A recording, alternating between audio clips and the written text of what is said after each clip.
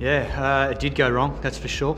Um, you know, today's obviously disappointing, but it's always a tough ask coming to Mumbai. Uh, we, we don't obviously have a great record here, so yes, it would have been nice to win today and get through, but I think, you know, to finish up where we did is probably what we deserved, uh, given the season we had. You know, we had a very good start, um, but then fell away badly through that middle phase of the uh, tournament. And you know, if you look back on our season now, the two missed opportunities where we had you know, a really good opportunity to, to shore up a spot in the playoffs was probably the games against RCB and at Rajasthan at home, where we have played well throughout the season. But to lose those two games, they're always going to probably come back to hurt us at the end. And when you look back at the end, that's what probably catches up with you when you don't win your games at home, where that wicket suits our our style of play, and particularly our batsmen, given how flat it's been this uh, season. Oh yeah, look, I think people always go looking for reasons why things aren't going to plan on the field, and there's no doubt. I mean, you can't hide from the fact that there was some tension out in the field. Um, that that was pretty evident in the last, I guess, few games after we got on a bit of a roll with the losses. Um, so you can't hide away from that. Uh, we've got to address that um, as a group because what is so important in this IPL uh, tournament is the dynamic of the group and that I guess the unity, and that's something that KKR is very very proud of. Um, it's a very successful franchise, and it's something that everyone involved worked very very hard to contribute to over a long period of time.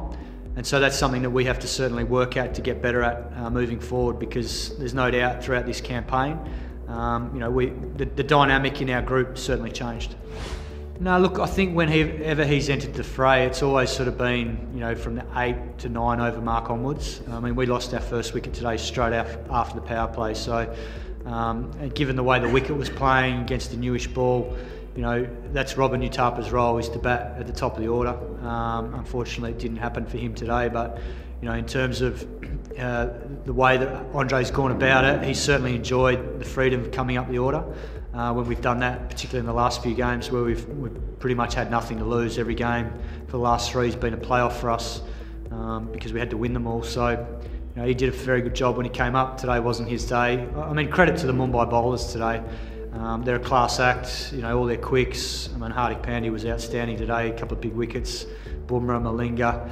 Uh, and that, as we've seen in this tournament, experience counts for a lot, and, and they outclassed us today with the ball. So, um, you know, obviously guys weren't trying to, to miss out, but uh, their plans today were very good. Um, you know, they exploited the conditions well. It was a slowish wicket, and uh, at the end, you know, we weren't good enough. Yeah, look, it's hard to know. I wasn't batting for him. You know, you can't bat for anyone, and, and you can only see what you see from the boundary line.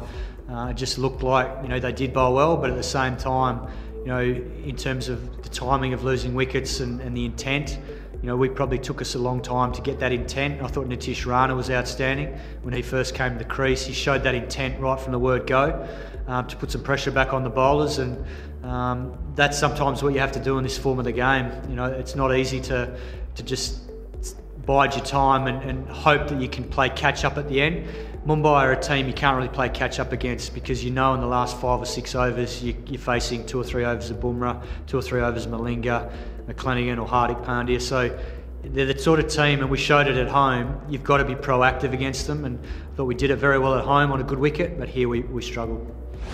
Yeah, look, it's it's hard to pin it on one person in particular. Obviously, he didn't have a good night tonight, but you know, overall with our season, there were a lot of positive signs. Young Shubman Gill looks like a huge talent of the future. Um, he's done a variety of roles for us and played them all really well. I thought a lot of our overseas players performed really strongly. Um, and then from I guess you know from a bowling point of view, young Sandeep Warrier at the end. I mean, no, he's not young, but he's still young in terms of his IPL experience. He showed a lot for us in these last three games.